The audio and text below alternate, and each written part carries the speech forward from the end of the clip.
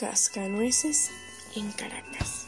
Una noche de diciembre en la hermosa ciudad de Caracas, la alegría y la emoción llenaban las calles.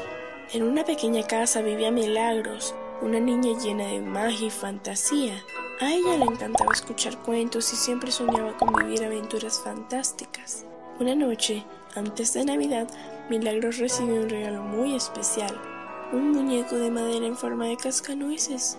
Su tía, una mujer muy sabia, le explicó que ese muñeco tenía un hechizo y que por las noches cobraba vida para proteger a los niños de los malos sueños. Llegó la hora de dormir y Milagros, emocionada, colocó el cascanueces en su mesita de noche.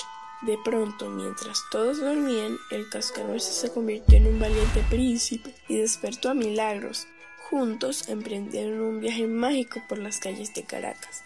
En su aventura, Milagros y el príncipe Cascanueces se encontraron con personajes muy particulares.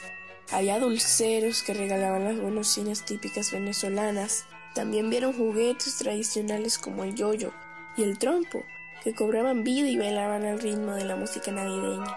De repente, en medio de su recorrido, se encontraron con el hada de las estrellas, que los invitó a su mágico mundo. Allí, el hada les reveló que el ratón de los deseos, un curioso roedor, estaba causando problemas en Caracas al robar los regalos de Navidad.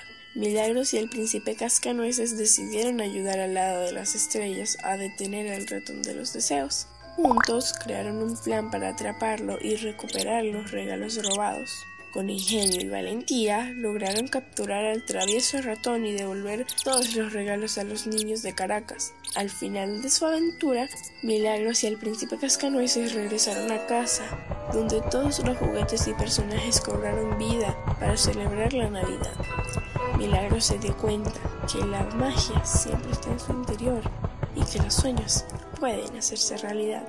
Desde ese día, Milagros y el Cascanueces se convirtieron en los protectores de los sueños de todos los niños venezolanos y cada Navidad en Caracas se celebra una gran fiesta donde los juguetes cobraban vida y la magia flotaba en el aire.